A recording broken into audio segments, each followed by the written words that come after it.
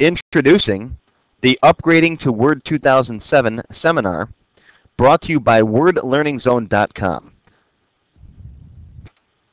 Are you currently using Word 2003 or an older version and you're planning to upgrade in the near future to Word 2007? Want to learn what's new and different? Or have you already upgraded to Word 2007 and find yourself struggling with some of the new features? Or perhaps you want to see what's new that you're missing? In either case, this upgrade seminar is for you. The purpose of this seminar is to show you what's new in Word 2007. We'll cover most of the new features, what's changed, and talk about what's been deleted. It is assumed that you're familiar with Word 2003 or 2000 already, but I'll take the time to show you how to use the new features in Word 2007. We'll begin by learning all about the new ribbon, the menu interface for Word 2007. We'll learn about the Quick Access Toolbar.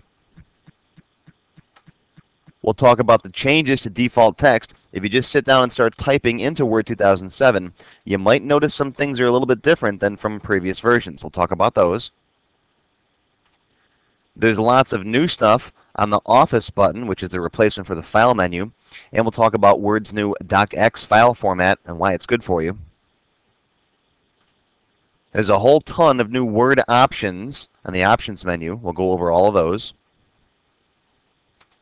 One of the big improvements in Word 2007 is the addition of new styles and themes. We'll talk about those. Headers and footers have changed a lot. We'll see how those work.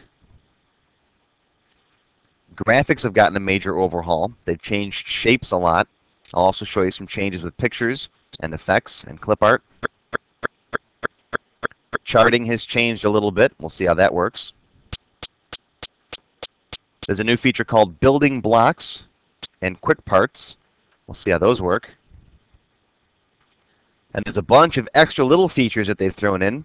The equation editor, views and zoom have changed, spell checker has changed a little bit, the new translate and research panes.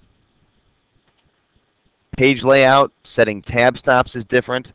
Table styles, customizing the status bar, bullets, multi-level lists, switching between windows, document thumbnails, there's a change case button, the references tab, there's a new bibliography feature that I'll show you, and some things like downloading templates from Microsoft Office Online, including the calendar templates.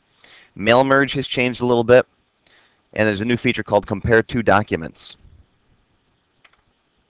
For more information on this seminar, just visit my website at wordlearningzone.com and look for the Upgrading to Word 2007 seminar.